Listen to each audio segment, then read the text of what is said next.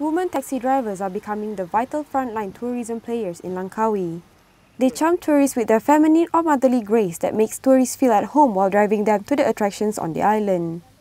The winner of the Best Taxi Driver category of the Langkawi Tourism Awards, Maznah Maisa, proved just that and she says patience is a virtue for taxi drivers who deal with tourists on a daily basis. Even though Laila Abdullah lost in the final stage, she is still proud of her nomination in the prestigious event.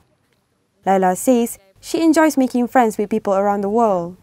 Khairul Niza Abdul Galim, the Public Relation Officer of Langkawi Development Authority, which organised the event, says it is not a surprise that women were nominated by the Taxi Association for the Best Taxi Driver Award. Jadi, apa yang penting sebenarnya di sini ialah ialah 70% penilaian itu adalah berdasarkan perkhidmatan yang diberikan kepada pelancong.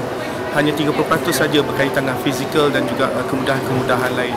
The event is concerted effort by the Kedah government to promote higher level of services and products.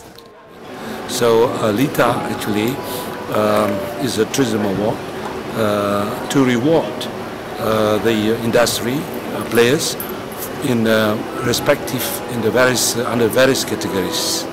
The Langkawi Tourism Awards held on Friday recognized outstanding tourism players in 29 categories such as all hotel star levels plus homestay and bed and breakfast setup, restaurants, tourist service providers as well as six awards for geopark players.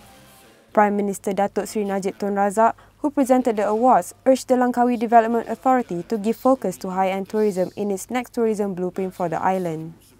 He says, since Langkawi has bagged accolades such as the fifth most insanely gorgeous beaches in the world, the island should now achieve the status of a high-end tourism gem, possibly becoming the Monaco of the East.